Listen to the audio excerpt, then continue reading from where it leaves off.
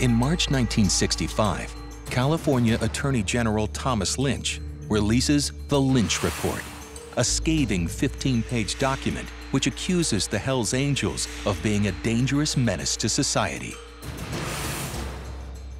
The Lynch Report, which was a report on outlaw motorcycle clubs, specifically the Hells Angels, reacting to charges that had been brought against four Hells Angels in Monterey.